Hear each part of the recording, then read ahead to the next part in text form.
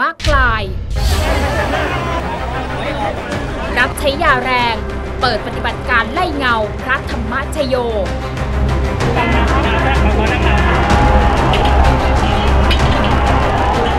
ติดตาม